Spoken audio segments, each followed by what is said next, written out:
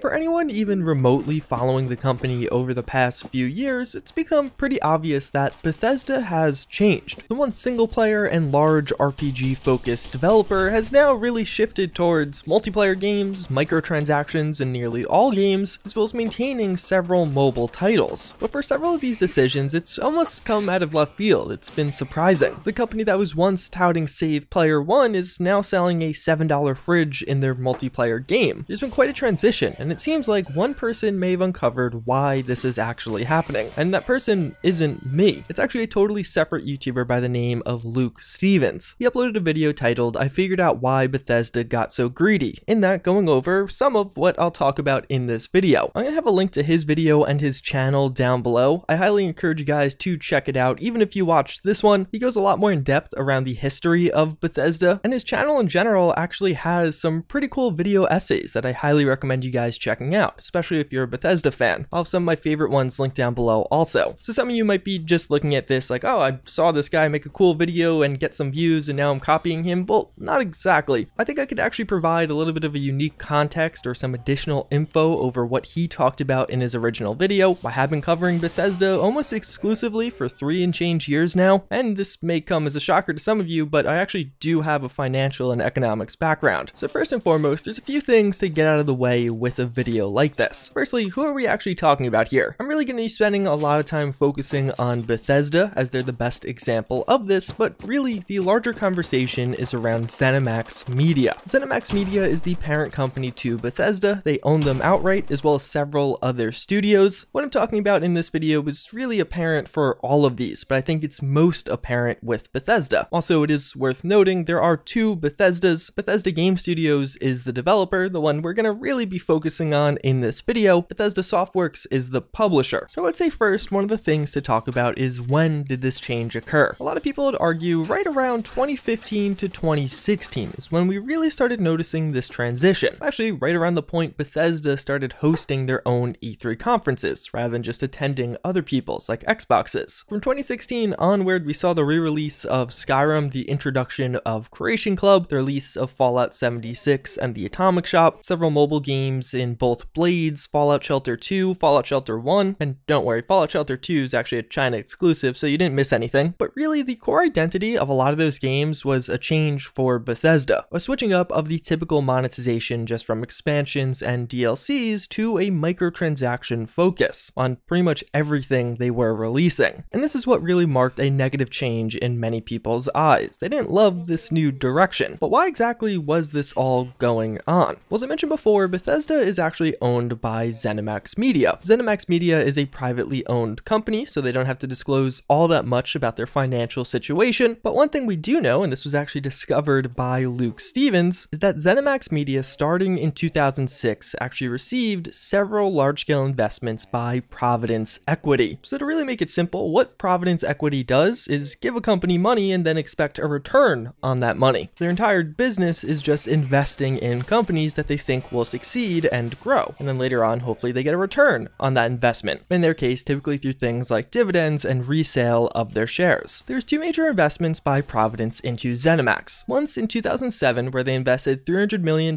for roughly 25% of ZeniMax, that of course being a massive portion of the company and valuing them at about $1.2 billion. But then again, in 2010, they invested $150 million. This time around, we don't actually know how much for. It was described how this money would basically be used to make further acquisitions and develop additional games, which they definitely did. They acquired several additional companies. They made some pretty great titles, actually probably why a lot of you are fans of Bethesda now. And this also established Providence as having a pretty considerable stake of this company. They would definitely be a major player as far as the macro decisions for these games and this company goes. But where this all really starts to matter, and again, this was discovered by Luke Stephens, is in 2016, as we actually got some leaks from Providence. It's not totally clear who, but somebody at Providence actually described to Bloomberg how there were some talks internally as to what they wanted to do with ZeniMax. Two of the potential options on the table being an IPO of the company or potential sale of their stake of the company, or potentially the company overall. 2016 being that year where we really established the turning point for Bethesda, and I think this is the key as to why we're seeing this transition with the company. So in finance, or really just overall, an IPO or a buyout buyout for the owners of the company can be viewed as an exit strategy. This is pretty obvious with a buyout. You are just selling your stake in the company, hopefully for a profit, and then you're done. You're kind of washing your hands with that investment. With an IPO, it's not quite as obvious. When a company does an IPO, typically you take a portion of that company, you're going to sell it to the public, but still retain some of your own shares and oftentimes still maintain a management position, at least for a little while. But then over time, you could sell off more and more of your shares or eventually just exit the company overall. So it seems like Providence with Bethesda was looking for one of these two things, a way out. Despite them reaching out and trying to find it in 2016, it seems like they weren't successful, and I would argue one of the main reasons might be due to the type of revenue they had. And that is likely why we're seeing such a big transition with Bethesda. Take for example two companies, one's worth $21 million, one's worth $19 million.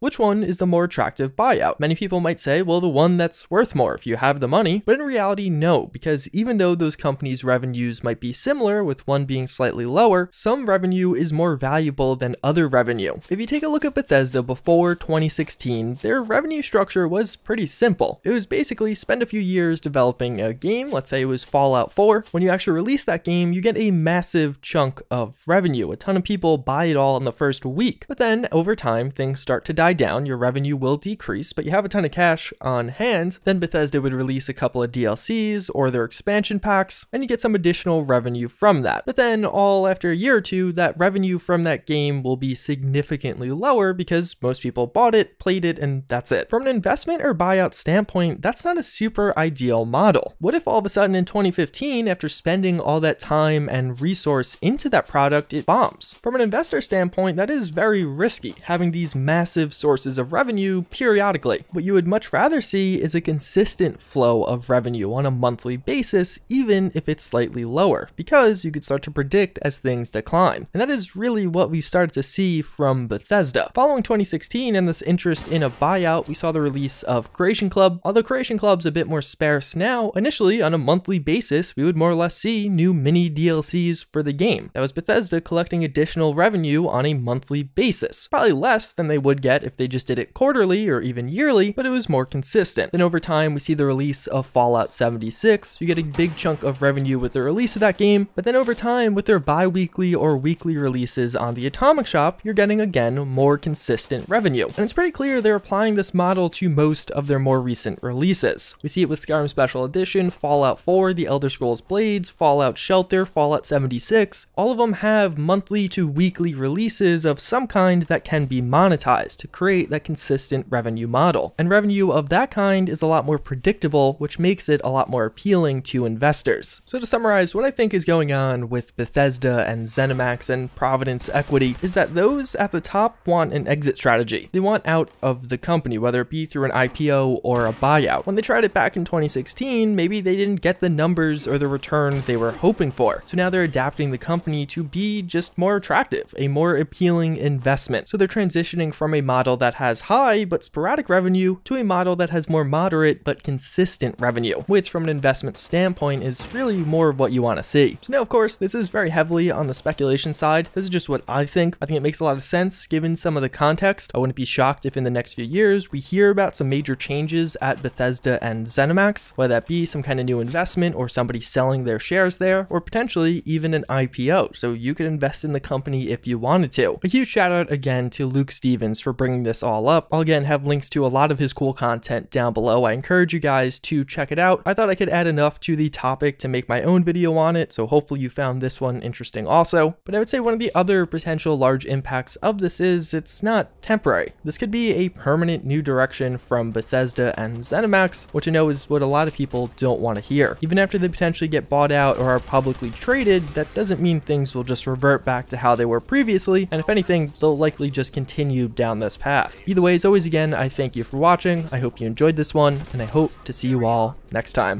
Later.